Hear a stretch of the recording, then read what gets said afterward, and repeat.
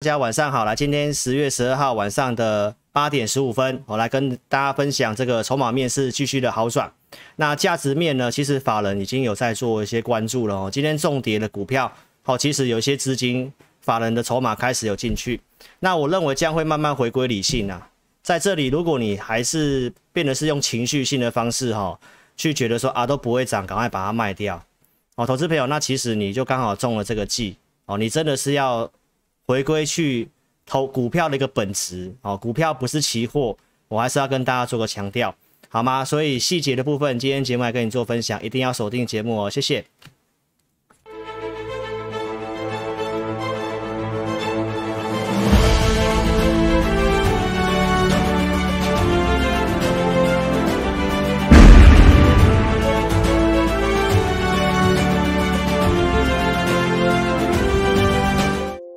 好，这个投资朋友大家晚安啦。哦，钢铁股今天也是有些呃有涨有跌嘛哈。时间可以的话呢，我就帮大家追踪一下我们呃前两个月节目上跟大家讲过的股票，好不好？行情看法几乎是没什么改变了哈。来，我们先跟大家报告一下筹码面的部分，好，待会用数据来跟大家报告。那价值面的部分，好，其实法人也开始做关注了，我们会用一个新闻报道来跟大家做个分享，呃，金融业的一个观念。好，那这个行情区间盘整的看法没有变，所以区间下缘，我还是建议投资朋友要站在买方。那方向的部分，你要记得利率跟复苏的条件不会是空头。那通膨的部分也是今天新闻告诉你台股整个下跌的主要原因嘛？好，其实我也讲过了，这影响只是短期而已，好吗？那在开始节目之前，先上这个警语，好，特别跟大家做个说明。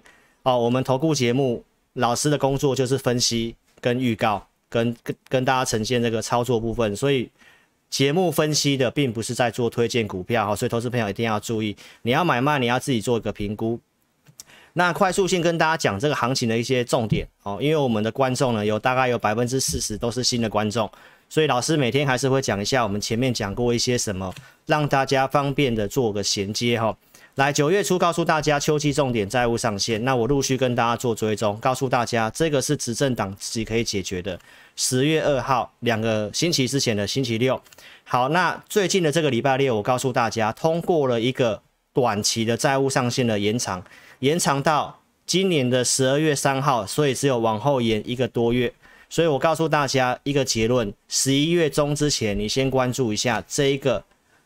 执政党有没有自己去用预算和解的方式去把它延长？那如果没有的话，那这个行情你还是要做个高出的动作，因为这个其实真的是会有影响的哈。所以目前两党在这这个政治的恶斗，包括这个共和党的领袖有讲到，他已经写信给拜登了，他说他下一次不会妥协这个东西。好，所以这个是你要注意，十一月中之前。好，那目前短期上这个不是一个问题哈。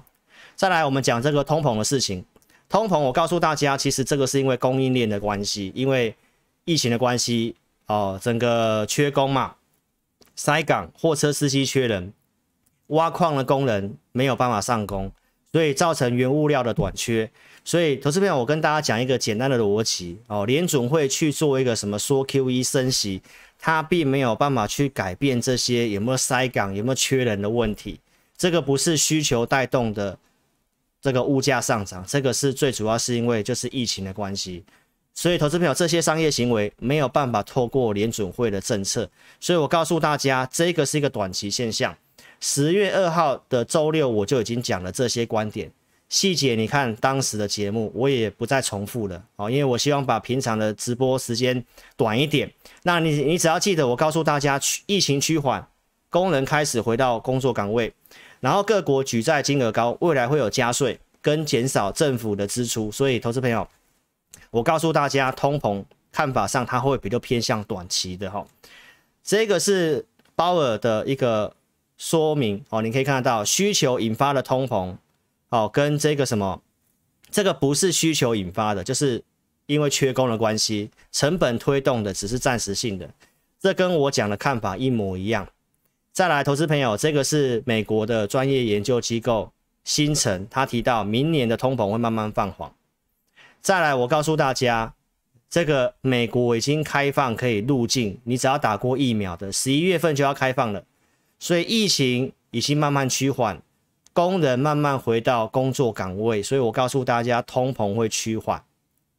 这是今天的一个新闻，投资朋友你可以看得到，这个全球最低的一个企业税哦，这个爱尔兰这个国家哦，已经跟各个国家的政府都已经有同意了，就是全球的企业最低税负定在百分之十三，之前的爱尔兰是定在大概百分之十二左右，所以有很多的国家，好包不管是美国的一些呃龙头型的一个独角兽企业，都去爱尔兰设总公司嘛，为了就是要节税。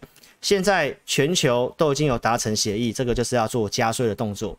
那投资朋友，这个是不是呼应到我告诉你的这个举债金额高，未来要加税？所以投资朋友，这都是在发生当中。再来，这也是新的十月十一号新闻。未来你要担心什么？通缩？诶，那怎么跟你现在看到的通膨不一样？通缩贫富不均。所以，观众朋友，一个基本的逻辑告诉我们，将来的成长性会比较偏低。美国现在很有可能会落入像当初日本一样失落的三十年。所以，最近在告诉你这些通膨的，然后什么停滞性通膨的，投资朋友要打个问号，因为这不是需求带动的，好不好？那这个问题的发生都已经慢慢在解决了。逐工人会逐步回到工作岗位，所以观众朋友，我认为这个你不要看的这么坏。停滞性通膨的事情，我已经跟你做解说了。再来就是非农，这个上周五低于市场预期嘛，这个数字非常差，对不对？那大家在讨论说会不会说 QE？我告诉大家，这里我是希望他说 QE 的，我是希望他说 QE 的，因为。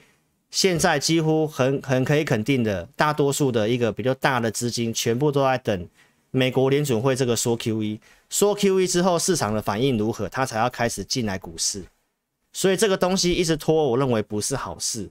那它如果可以缩减 QE 的话，代表什么？景气方面它是持续性有信心的。那如果不能缩减，如果它没有缩减 QE。会拖到十二月份来讲的话，我认为也不一定是坏事。所以投资朋友，这个我周六已经讲了。如果他不说 QE，代表通膨的事情他不担心。那如果他说 QE，代表景气是正面的。所以我们就是要去观察油价。所以油价，你在这里你可以先去看一下油价的位置。油价现在已经在，这是月线图。投资朋友，他已经在二零一八年的高点这个地方了，所以我认为在这个地方相对上开始会震荡了，所以也不排除油价会拉回。还有美国的页岩油也开始会有新的供应量出来哦，所以我认为通膨的事情重要就观察这个油价。所以说不说 QE，我是希望他说 QE 啊，这样对于我们后面操作好可以更明确一点，不要有太多的干扰。再来就是升息的事情，很多人告诉你通膨上来要升息哦。九月初我就讲了，这是 Fed Watch 的数据，到二零二三年二月份升息一码几率只有百分之三十七。九月二三号我拿出数据跟大家讲，上升到百分之四十一点六，好，其实五成都不到嘛。十月二号告诉你通膨的新闻一直出来，然后告诉你说啊，这个联准会有升息的压力。我告诉大家，升息，美国欠了这么多钱，升息，他要增加他的利息还款，他干嘛要拿石头砸自己的脚，对不对？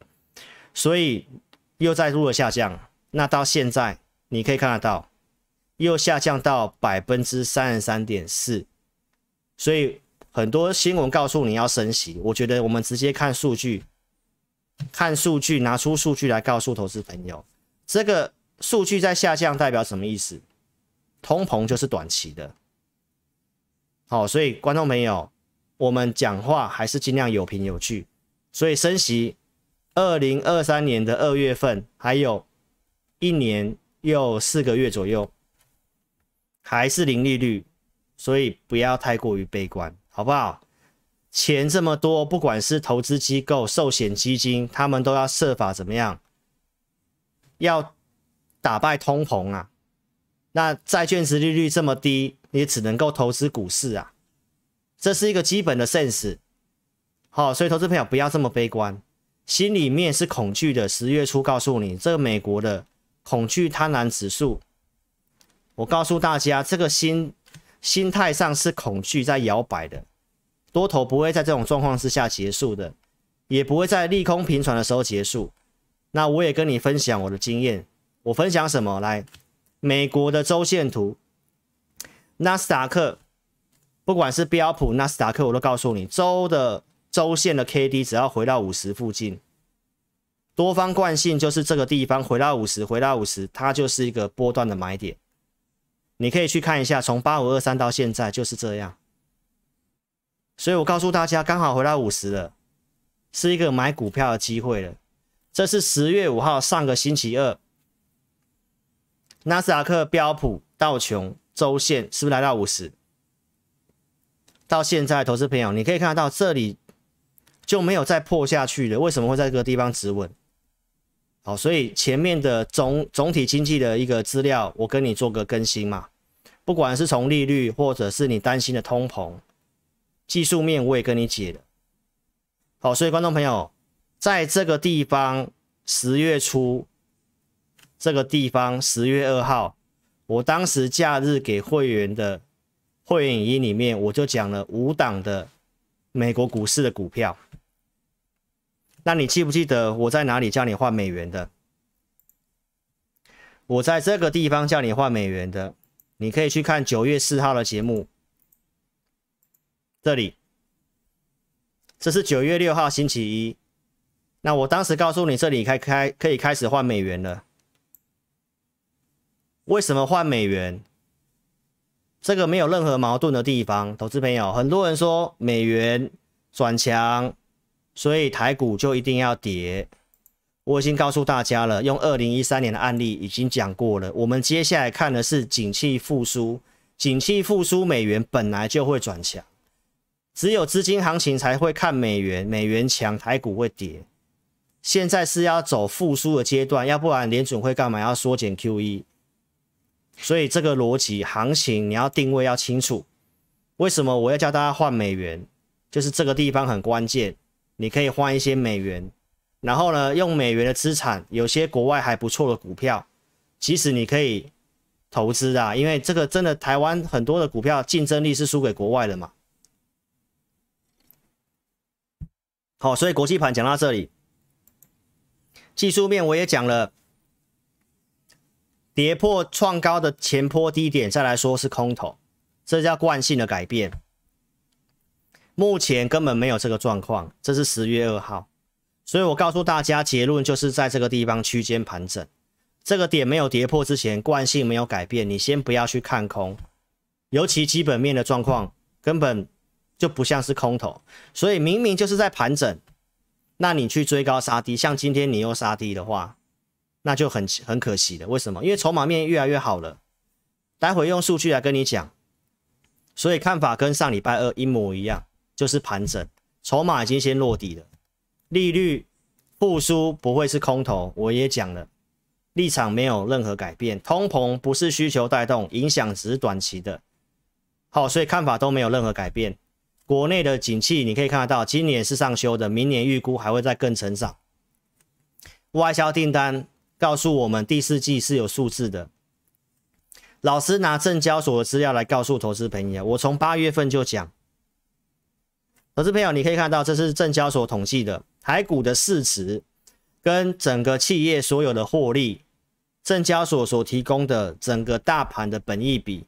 八月份台股在一万七千五百点，当时的本益比在十八点八六倍。九月份的台股大盘是在一万七千点，本益比下降到十五点三八倍。那我讲了嘛，已经跌到一万六千五，甚至更低，其实已经跌破十五倍了。过去很少跌破十五倍，跌破十五倍就是超跌。所以如果你在这个成长的条件之下，如果股价超涨就算了。但是股价偏偏超跌，所以观众朋友没有悲观的理由。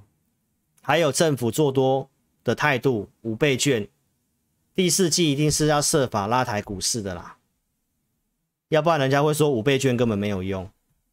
台湾又是个浅跌的市场，我们台湾的市值并不是很大，所以投资朋友这些的一个行情的分析，多头的大逻辑，我上礼拜四整理的这八项我都不讲了，你自己去看。第一次收看的你自己去看，我讲的有没有道理？而且我不我不是自己乱掰的，我是拿资料告诉你，零利率到二零二三年，景气面国内外成长，通膨，我告诉你，股市优于债市，还要做基础建设。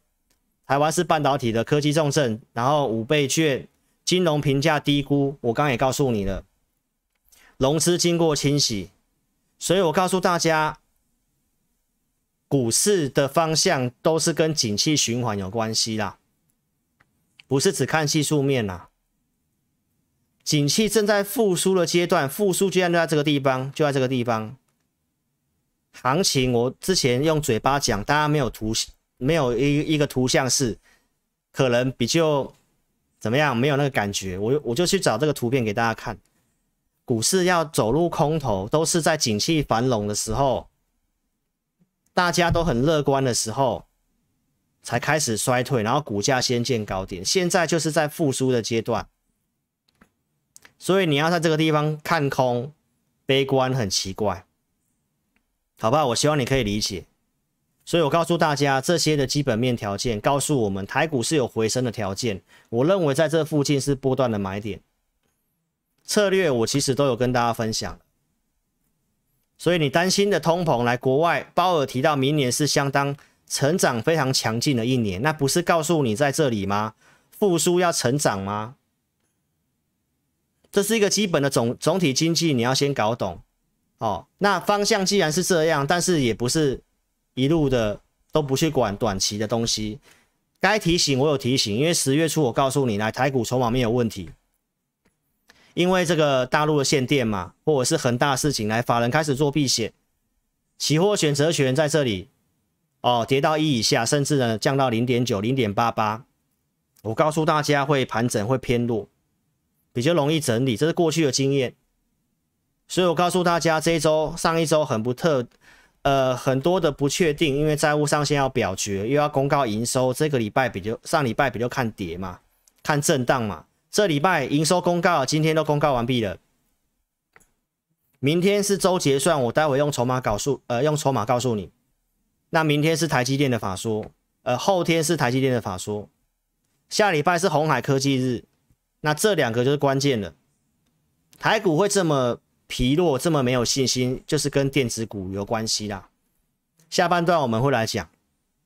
好，所以这是前面分析的过程。那周六我也告诉你，区间盘整，筹码已经开始回稳了。那我们来看一下最新的筹码面。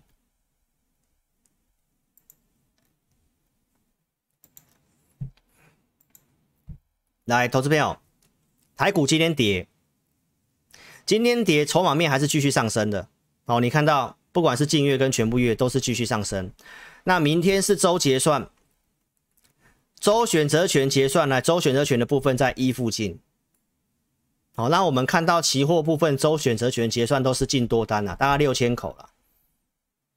所以明天往上拉高结算几率蛮大的，好不好？那你可以看到法人的筹码面在这里柱状图，我不知道你有没有看到，已经缩减到几乎是这个月最。最小的地方了，在这里空单都在回补了，法人已经开始慢慢没有避险了。好，所以筹码面是这个样子，所以看法上是这样。那你可以看一下现在的台北，现在的一个台股的期货盘大涨了一百二十九点，所以这里就是这里就是筹码落底了，但是不会 V 型反转，因为这里的技术面比较差。这里会用一个筑底的方式、扩底的方式，但是这里不是要杀低的地方了。我态度都没有做做任何改变，这个点没有跌破之前，它就是个区间箱型而已。这里要买股票上去，你再卖股票。看法上，这个盘整可能会一段时间。哦，所以行情的分析就是这样。融资经过清洗了，这是今年五月股灾，维持率来到一百四十九。跌到一百六都差不多会持稳，特殊事件会到一百五。那你看到十月八号这里的维持率竟然降到一百五十一这个地方，这段时间融资几乎没有什么增加，好，所以我认为不至于会这样跌。那最主要是有利空嘛，限电的事情跟恒大的事情嘛。那我也告诉大家，空单呢其实是继续的增加，已经创了最近的高点。好，所以我跟大家讲一个策略嘛，你要短期找强势股，你还是要找筹码有嘎空的嘛。所以上礼拜我也讲了，也分享了一只股票，对不对？所以筹码面好转，你看到了。那价值面获得法人关注是什么？我来跟你讲，投资朋友，这是关谷的金控公司。目前因为美国的债券值利率在上升，所以大家开始在讨论债券值利率，大家开始在讨论现金值利率。好，那这是关谷他们所整理的资料，你可以看得到，台股对应的指数跟目前就是这个算法跟这个算法跟我刚刚。拿的那个证交所资料是一模一样的啦。现在在一万六千出头这个地方啦，殖利率大概五 percent 左右，大概五分钟左右。那你想清楚一个逻辑，因为现在的债券值利率大概只有在一点五，然后全球的基础利率大概在零到零点二五之间，就是接近零利率了。公债也没有这么高的可以打败通膨的一个。殖利率对不对？那你看，你放眼全球股票市场，现金殖利率像台湾配息有比较高的，这样算下来有到五趴的，很少见了。所以观众朋友，这个是一个资金动能的支撑啊。那为什么会出这个新闻？代表法人已经开始去关注一些真的是超跌的股票。那如果你还是在看技术面，这些。长期稳定的筹码一进去，那个股通常就会止稳了。止稳之后，然后只要气氛一好转，那股价就上去了。那你偏偏要在这个地方杀股票，非常可惜。我举例哦，我不是推荐股票，你可以看到长隆，长隆今天不是快跌停板吗？但是外资的买超第一名就是长隆，这个是阳明。外资买超第一名，你不看到汇率在贬吗？那外资为什么要逆势买这些股票？台湾的持利率真的是比较高，尤其这两家公司的一个基本的获利，可以产出的 EPS 跟配息。其实投资朋友，我要明白讲，虽然我没有推荐它，我的会员也没有买货柜三雄，但是这个股价跌到这个地方，以金融评价角度，真的是超跌。超跌很多，所以观众朋友，那看你用什么角度去看这些股票。如果你是技术面可能破线，你要卖要空，这个我没有意见。但是如果你是闲钱的，你手边的钱是闲钱，那你其实你现在你的钱也没有急着要干嘛的话，那如果你是套到这个股票，那我反而建议你不要在这个地方杀低，上去你要调整再调整。这个是中钢老师周六的直播有讲钢铁股吗？我认为最坏就是这样了。中钢今天外资的买超也是排名前面的。好，那我会员没有买中钢啦，我只是要告诉你，中钢以这个获利跟配息，明年可能会配三块钱以上。现在股价三十三块钱，那你可以去算一下。这个就会有让这种资金会有兴趣。好，所以投资朋友，你你想想看，其实你到这个角度，现在法人的法人在看股票角度已经转向这个了。这个代表什么意思？开始要慢慢回归基本面了。所以我为什么跟大家强调，接下来的操作你要去注意，九月的营收在今天公告完毕之后，法人就会开始去算哦。七八九这个三个月的一个营收数字是不错的，会产生在十一月中的财报会不错的，刚好跌到这个地方就会开始卡位这种股票。那如果明年的产业前景又又是向向上的，那可能就会一路做到年底的。这是我们在法人认识的所有的一个操作经验就是这样，所以这里投资表不要看的这么坏。不要看的这么坏。第一个有这个直率的保护，第二个，这个图表真的是告诉我们，真的是超跌的，法人也开始关注这个东西了。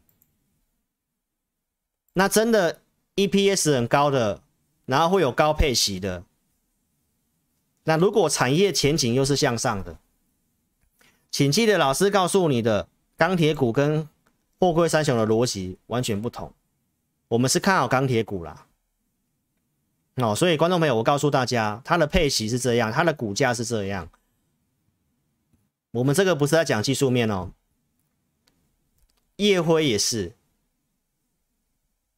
这个获利数字，法人其实都逆势在买这些股票，好吗？所以我周六直播讲很清楚，看你用什么角度。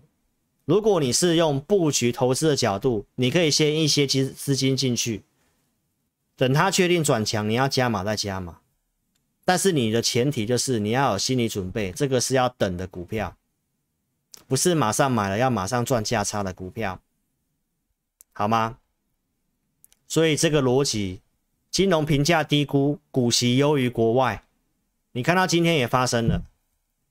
所以我告诉你这八点，我会讲很久。好，投资朋友，那筹码面是真的慢慢好了，所以气氛转好之后，那你就会慢慢看到，你有可能对于一些现在要杀出的股票，后面又开始乐观了。好，所以心态上我都告诉你，不要摇摇摆摆的。好，所以第一次收看志老师节目的，欢迎你可以在 YouTube 这里搜寻我的名字，找到我频道之后订阅开小铃铛，帮我按赞分享。老师每周二、三、四、六晚上八点，哦，开直播啊，邀请你哦，可以来一起参与。如果你是东森财经台的观众，或者是运通财经台的观众，也邀请你可以在 YouTube 搜寻老师的名字或我的节目名称，好，前进大趋势或陈志林分析师，找到我频道订阅开小铃铛。好，欢迎你二三四六晚上八点来参加我们的直播。老师的节目尽量透过大数据告诉你，像二月份行情有利，有利我就会讲比较多股票。因为投资朋友，我的初衷还是希望观众朋友你们可以找到一个对的趋势，找到一个对的产业趋势去赚钱。就像我今年告诉你的重点，电动车跟这个半导体。那半导体范围这么大，我告诉你当时可以注意窄板三雄。透过金融的一个评价面，告诉你锦硕股价便宜，当时八十块钱。四月份透过大数据告诉你行情开始不利，开始逆风，建议你要减码。所以当时的一个锦硕做的比较短线，这个是当时卖出了扣讯，跌回来又转强。五月二十五号又跟你预告五档半导体股，其中一档就是锦硕，包括像汉磊。八月二十四号，这里告诉你，锦硕率先大盘转强的股票。十月五号，上星期二，告诉你短期的策略找什么？嘎空的股票。锦硕当时价格在两百块附近。那这个我们会员有买，我周六已经公开了。哦，这个我们十月五号有买，十月七号这个地方攻涨停板。当时的节目忘记遮了，观众朋友也都知道锦硕。所以你看老师节目，我尽量在转折点跟你讲股票，你有没有发现？锦硕这里是二月份，这里是五月份，这里是八月份，来这里是最近，这是长期追踪的标的，从七十几块钱一路讲，为什么？因为三 D IC 就是个趋势，所以老师都是告诉大家一个趋势。我的节目定期大侠解读，透过老师的系统帮你解读新闻，当时苹果要。新机发表会，那新闻告诉你这些瓶盖股哦有机会，那我透过系统告诉你都不能买，五月呃九月初，所以不能买的我还是有跟投资朋友做提醒的。九月四号跟你分析未来，告诉你成熟制成二八纳米的事情，我建议大家你要长期投资，你要投资什么？台积电、联电，我建议你找停利点。联电当时七十块钱，所以观众朋友，我是直接告诉你，台积电产能开出来会不利于联电，我建议你要找停利点，我不建议你去追股票。好，所以观众朋友，时间拉长你会知道什么股票是短期的题材。我们一样看好半导体，但是你会发现股票还是有差异，台积电也有跌回来，但是没有没有像联电跌的这么惨。更何况长期来讲，台积电一定是会优于联电的。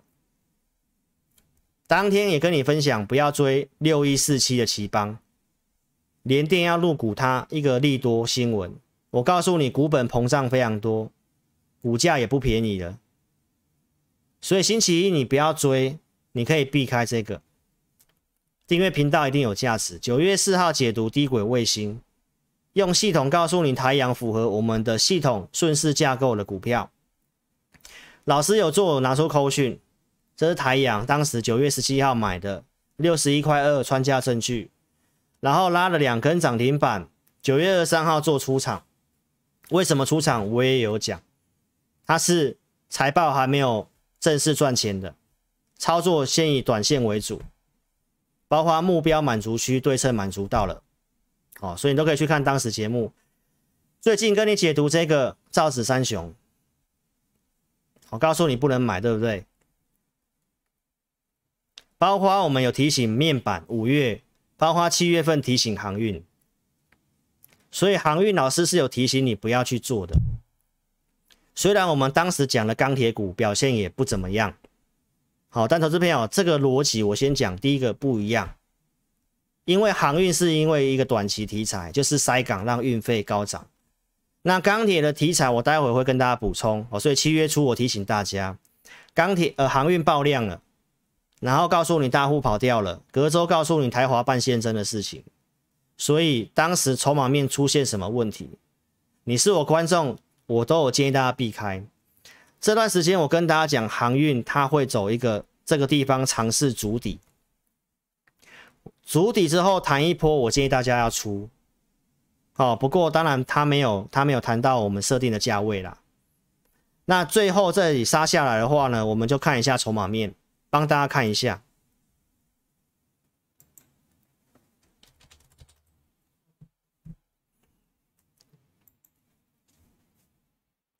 来，投资朋友。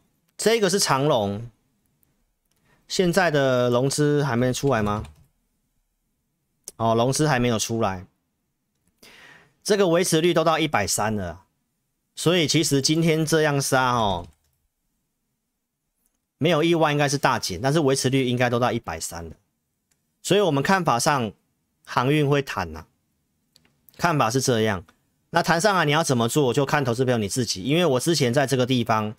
都有给大家价位的，我们用系统告诉大家的一个价位，像长龙好像是一百四十五，哦，那就是反正没有到又跌下去，那维持率在一百三了，等一下再来看看好不好？所以我看法上龙是断头，最近我跟大家分享一个长短的方案，就是你要怎么去追你的绩效嘛？我告诉大家，短期的你可以注意什么？散装。因为我们看法，航运龙狮断头之后，散装会有机会。再来就是在能源的部分，十月二号周六，我当时告诉大家，一个事件出来，一定是一体两面的，有好有坏。能源短缺这个事情，我们联想到的是两个，一个全球的趋势。那当时我告诉大家，台湾的太阳能的现行都不太行，所以我没有推荐太阳能。但是国外太阳能我觉得不错。所以十月三号的假日，我有给会员朋友几档国外太阳能的股票，你可以看一下昨天的太阳能的股票，通通都是大涨的。所以投资朋友，台湾的股票太阳能真的是受惠比较少了。今天虽然有涨，有消息面的关系，但这个现行架构都不太行。这个是元金。龙头是联合再生，这个是减资之后才这样子。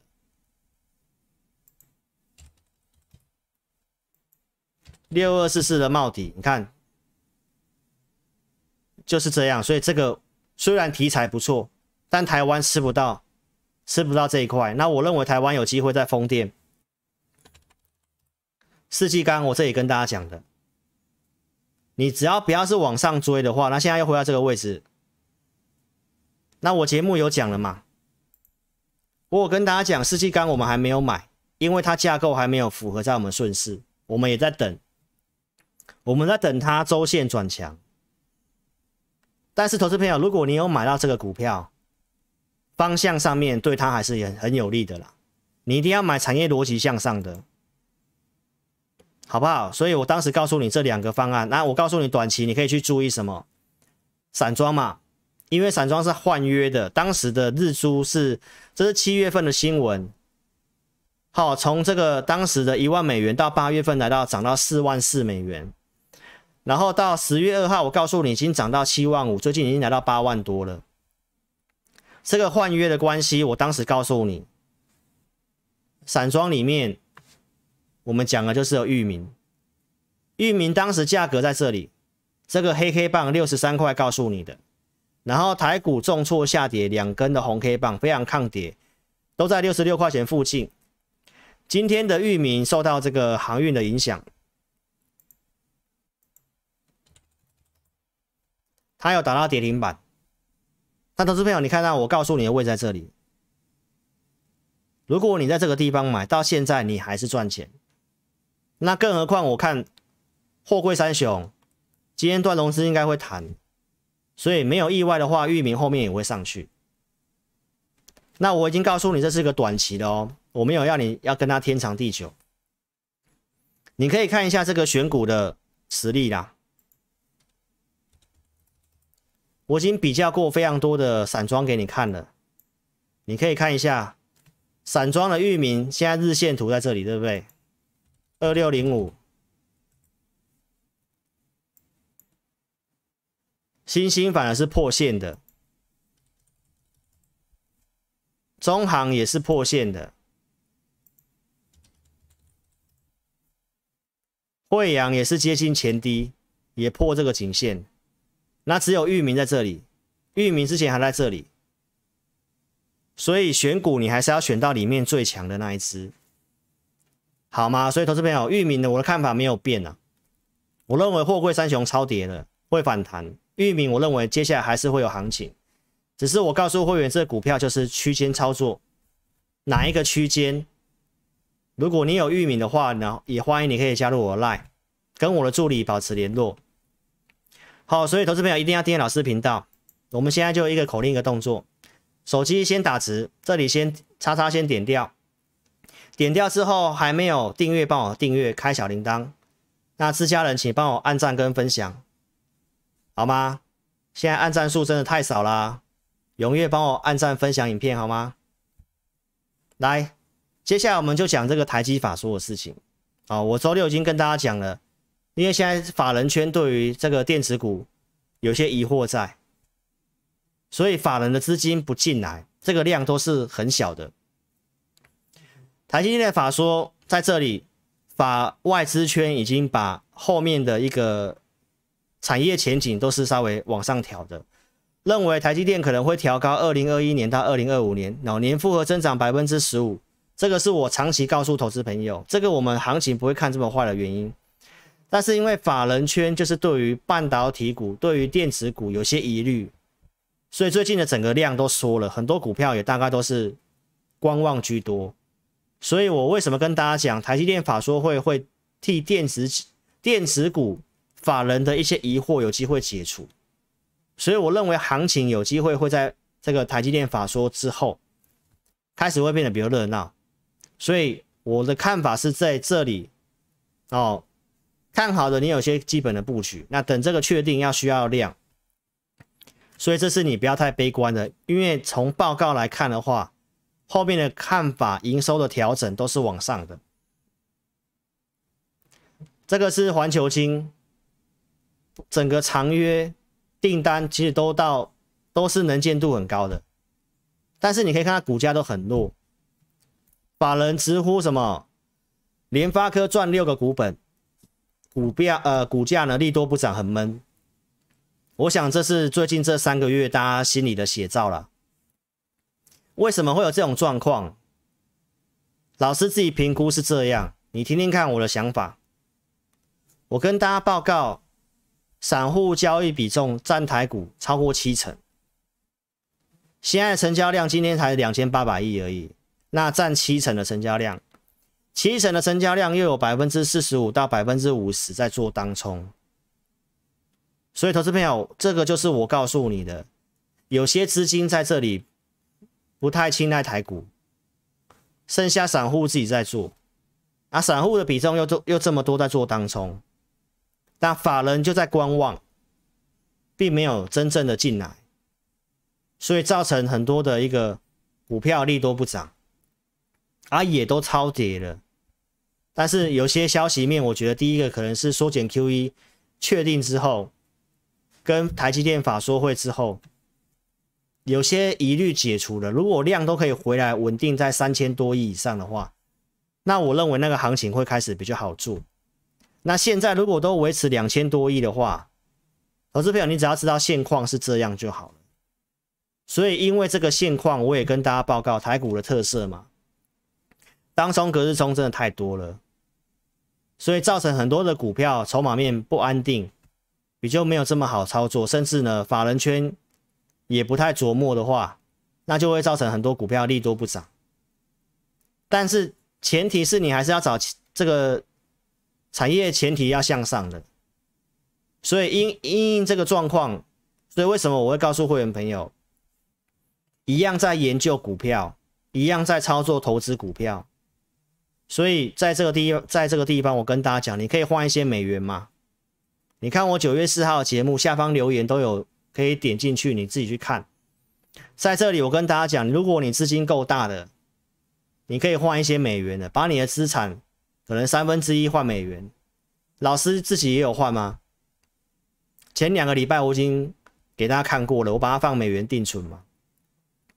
哦，因为老师的时间都还是投投入在。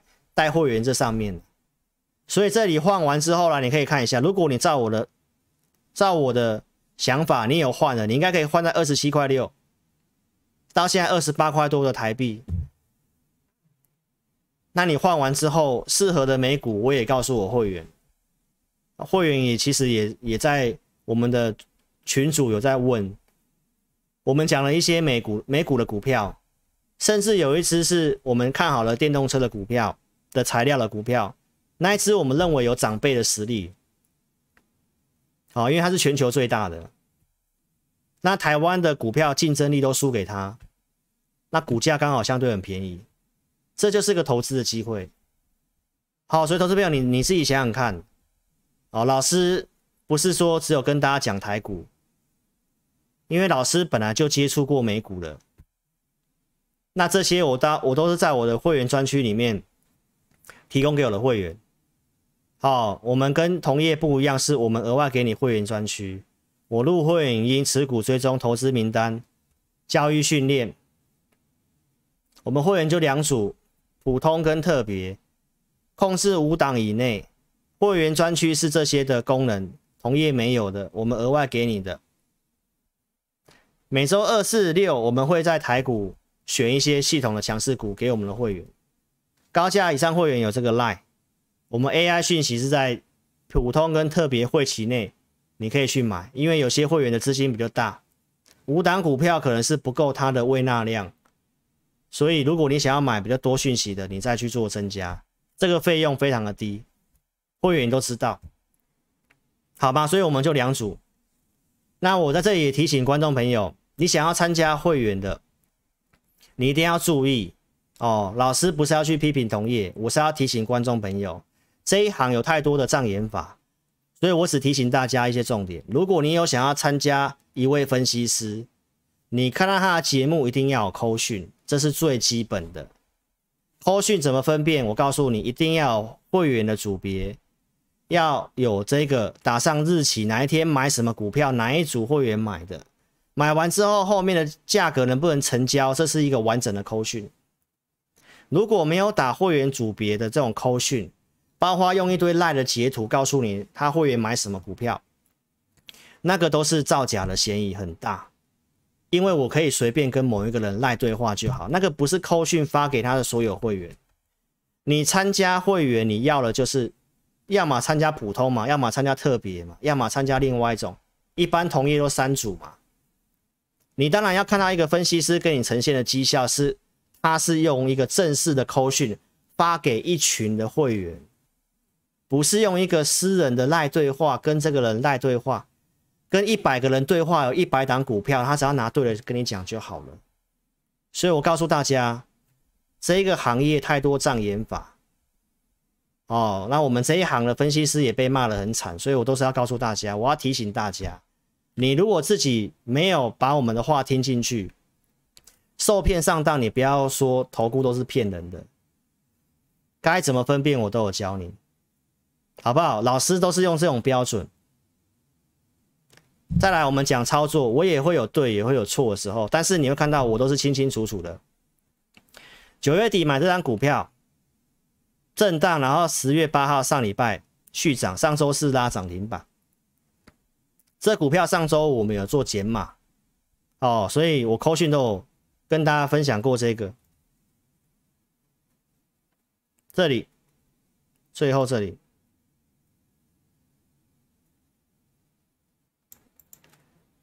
礼拜六我告诉大家嘛，卖压偏高，有些持股我们周五有做调节。好不好？那调节什么，我们也暂时不能讲。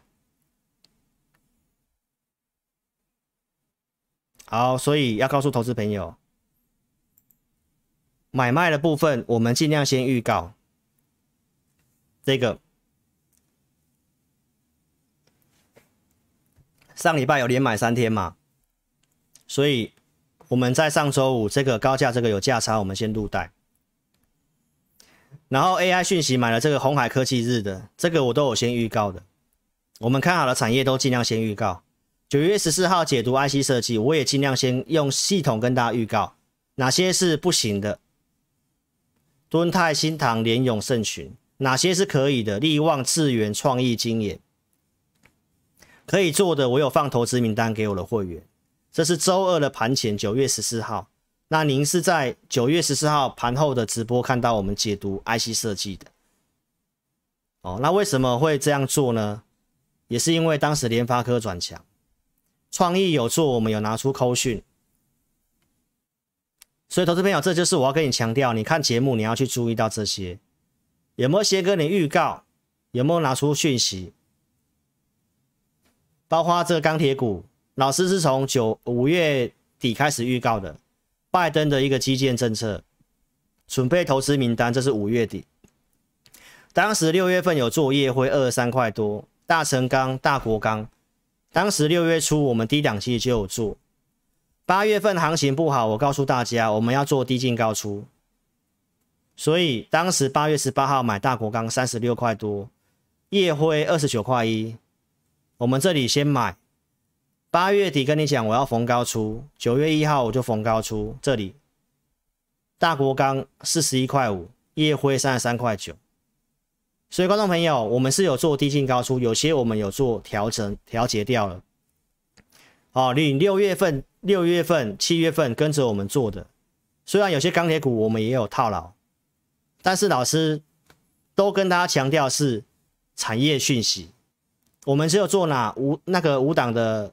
这个钢铁股，我周六也都讲过了，哦，所以投资朋友，我们不是买一大堆钢铁股，看好的理由、供需的一个条件，你可以看这个投影片哦，因为时间上的关系有点会超时，所以我这个就不赘述了。我要强调就是供给跟需求方面都是有这个题材支撑，产业内人士告诉我们，钢铁会走三年到五年。那航运为什么觉得比较要做短期？是因为它只有供给方面，因为塞港的关系，因为缺工、缺船、缺柜的关系，这只有供给方面，没有需求。需求是指基础建设这些，这都是要分十年的一个支出。欧盟、印度、中国、美国都要做。所以我当时跟你追踪的外销订单，从四月份到七月份，金属类第一名，这个都是放在这里面的。还有散装航运的事情，从三千多点追踪到涨到万点附近，在运铁矿石的，就是有这个需求，所以才会往上涨嘛。我告诉大家，后面有这个 CPTPP，所以大家你不要太过于悲观，这个通过的几率超过百分之五十，那对于钢铁钢铁的产业是有利的。哦，这个日本也是挺我们要加入这个 CPTPP，所以投资朋友，这个你要有信心，后面有这个利多。再来，我告诉大家，产业内人士没有看，没有把这个钢铁股看得这么坏。第四季本来就传统旺季，尤其十一月份开始，产业讯息是这么正面的。还有，我也跟你分享一下，大陆那边不是因为这个恒大的事情哦，然后包括最近有一些打压这个要减产的事情，钢铁矿石不是跌吗？从一千两百多跌到六百多，不是腰斩吗？好，那你注意一件事情，对岸的宝钢开平盘，这不是完全。印证我跟你讲的东西，这里铁矿跌，利差扩大。你看到钢价其实没有下来，你看美国钢铁的价格也没有下来，这些逻辑都还是在的。但是我觉得就是心里面的关系，我待会来跟大家讲。所以宝钢开平盘，然后铁矿石这样跌，那。这就是我告诉你的啊，最上游的原料在跌，但是终端的报价没有没有跌啊，那不是利差扩大吗？啊，不是会反映在后面的一个数字吗？所以我告诉大家，除了 CPTPP 十一月中旬的财报的钢铁股的这个季报，你可以值得期待，尤其第四季。所以这是我跟大家讲，第三季跟第四季本来就有这个看好了，因此在这个地方，但是股价在跌。我们也觉得非常无奈，没有办法。那看法我在周六直播都有讲了。我认为最坏就这样，月线回撤才三分之一而已，还是个强势整理。周线的这个两倍的标准差，布林通道两倍标标准差，你可以自己去学一下统计学。只要这个标准差两倍，它就代表百分之九九成以内，它会在这个价格里面波动。尤其是布林通道是走横向的时候，所以来到这个下缘，我告诉大家不要悲观。月线、周线都这么告诉你。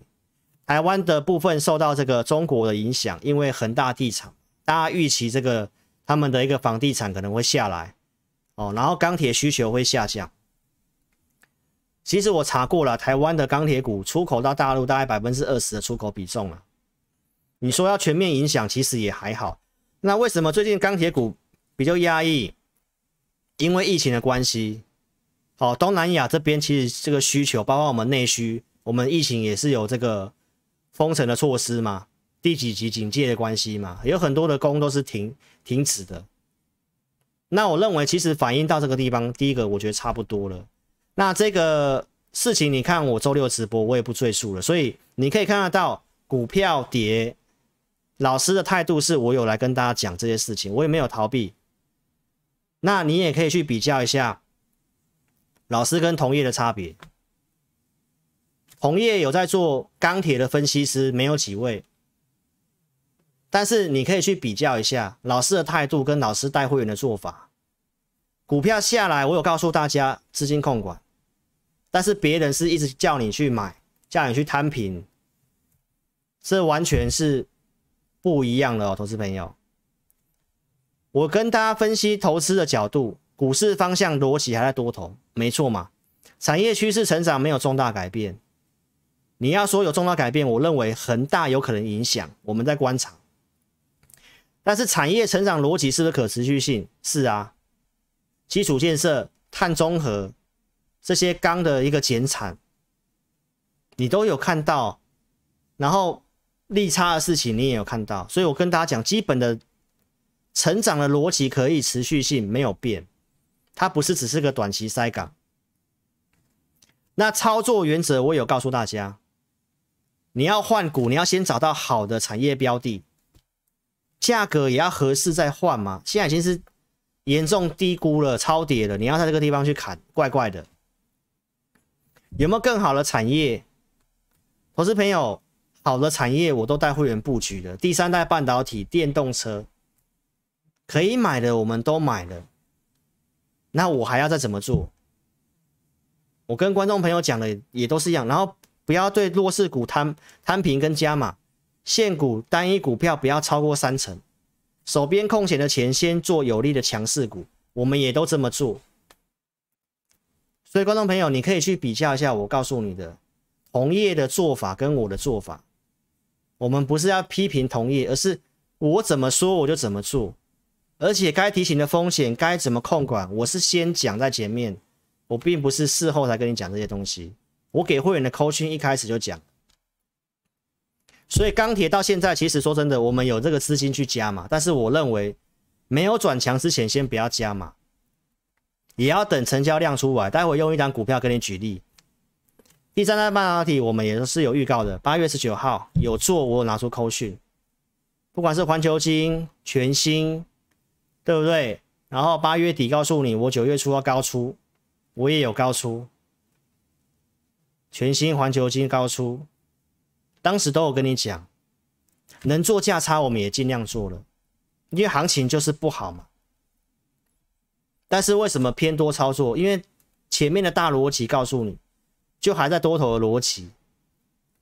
这些产业长期追踪，九月四号告诉你，第三代半导体年复合增长率很高，对不对？九月十五号跟你整理台湾的第三代半导体，然后我也告诉你，台湾第三代半导体落后国外，真的技术差很多。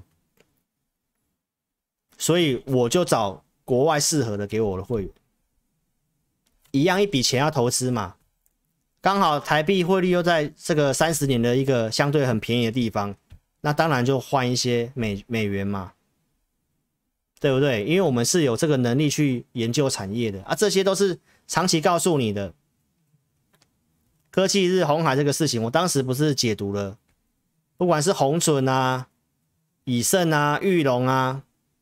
广宇，对不对啊？我十月九号周六又再跟你解读一次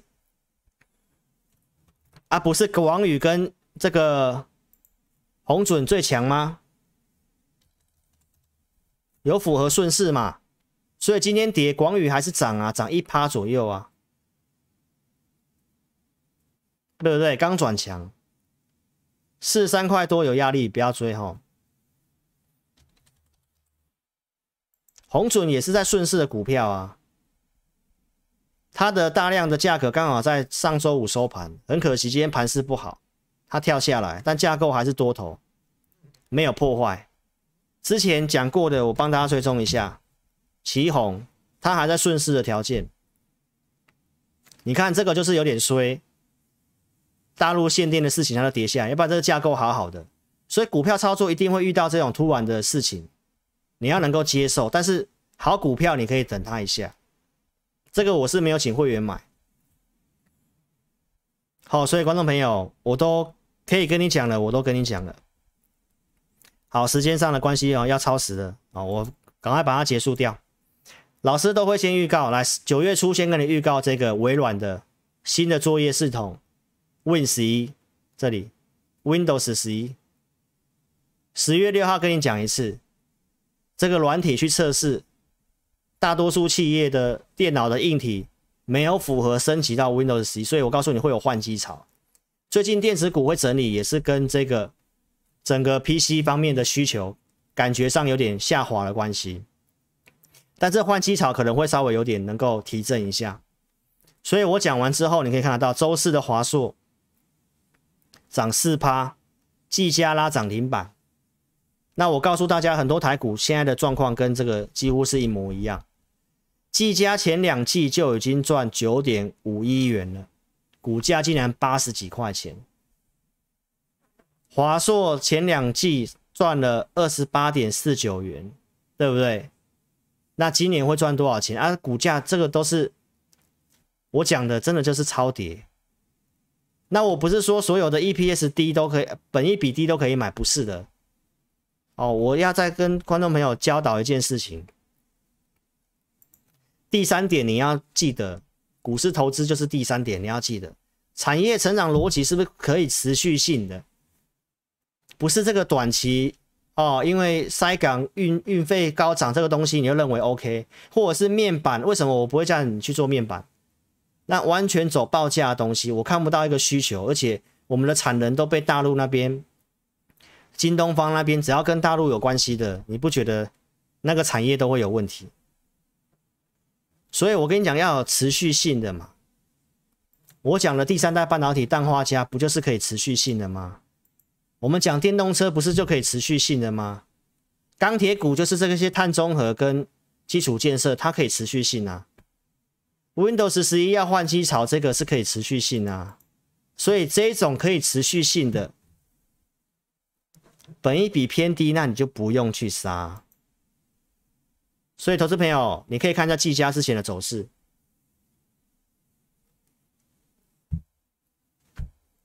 你看它跌就是没有量的，其实跟钢铁股是一模一样的观念为什么跟大家讲量缩这样跌？它只要稍微一补量，很快就回到正常的地方，对吧？那前提就是这个啊，题材我认同，我先跟你讲嘛，九月初我先跟你预告，我看好这个嘛，有机会嘛，然后开始找股票嘛，对不对？找股票啊，只要价格。低估的看是要布局要等吗？啊，不想等就等它系统转强嘛，等它出量啊。那钢铁股现在的看法就是要像它这样子，就是要像这样出量，有出量要做再来做。现在没有这个讯号，我觉得是超跌的，不要杀低。看法是这样，而且我周六我已经跟你讲我的心路历程，对不对？我觉得真的会受到航运的钢铁受到航运的影响。前一两个月就这样子，最近航运跌真的也都是拖下来，又遇到很大的事情。我觉得只能只能说这个是真的有点运气不好。但是投资朋友，这只是我们五档股票里面的分配一两档而已。我们从一开始就很明白的讲，没有要投资朋友重压钢铁股，妥善分配资金。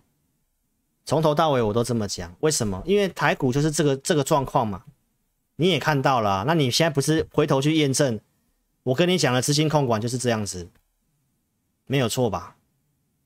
所以你去想想看，我我用计价的案例跟你举例，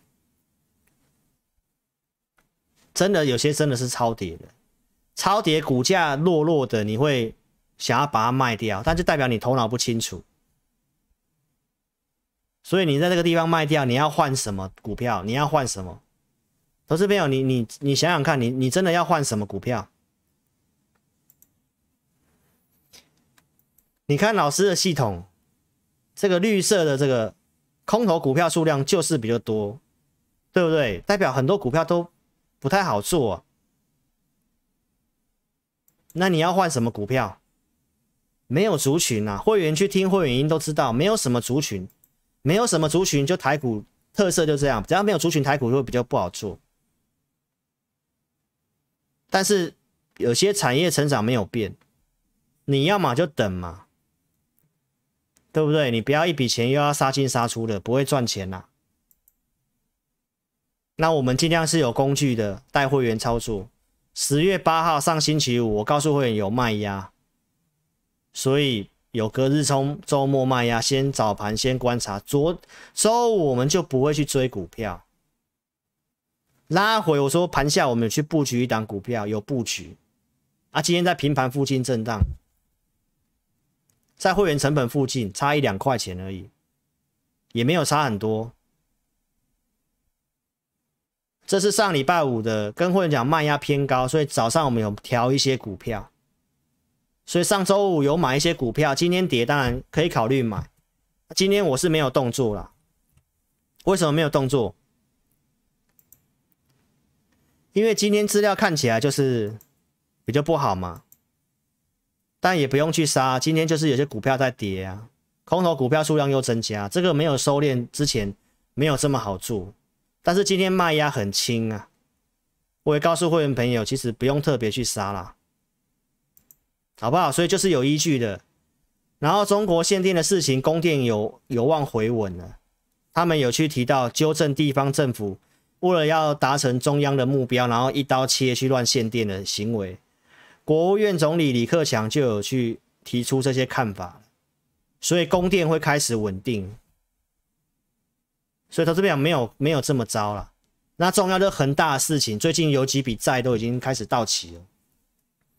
我们就要看中方态度要怎么去处理这个事情，哦，然后这个事情之外，就是在就是联准会的事情，通膨我该讲都讲了，所以认同理念就跟上操作。先时间的关系，已经已经到这个时间了，好吗？所以投资朋友我都讲很清楚，节目分析不是推荐股票，不要跟单操作。老师只会透过亨达投顾 APP 发送买卖讯息给我的会员，好，所以只有针对付费会员在推荐股票。美国股市有机会的，我会在会员音告诉会员，会员都有我们的 Line，即便你不是在会员群组的，你在官方群组的，我们都有注明你是会员，好不好？是会员，我们都会服务。所以如果你资金充裕，你认同理念的，你可以跟上我们操作。好，老师都告诉你，我们尽量看一个方向，研究一些成长的产业去布局。那透过一些工具跟依据，我们。可以压差尽量做，不是保证，因为这个行情跳上跳下的，哦，一定有它的难度在。我不是神哦，所以我要先讲清楚，认同理念跟上操作，好吗？所以投资朋友今天的直播就先进到这里了。如果你不急的话，你可以透过填表的方式，影片下方点标题哦，有这个申请表连接，哦，填表来询问，我们都会尽快的协助你服务你，加赖做询问也可以。ID 在这里，小老鼠的全 T E C 扫描标签，哦，所以呃来电询问二六五三八二九九二六五三八二九九，所以希望今天的一个节目你们会喜欢，好，钢铁股我刚刚也都讲了，好不好？投资朋友，看法上是这样啦，反正我们就等它一个转强的讯号，出量的一个讯号，那我们认为钢铁股就是超跌了。OK，那待会这个后段时间我们再看一下筹码。分析啊，好不好？因为上半段的节目我们要赶快把影片给电视台。OK，所以我们在明天晚上的直播再见喽。明天晚上八点再见面。OK，所以非常谢谢各位的收看。那有相关兴趣的，欢迎你可以填表或来电询问二六五三八二九九二六五三八二九九。好，明天见喽，谢谢，拜拜。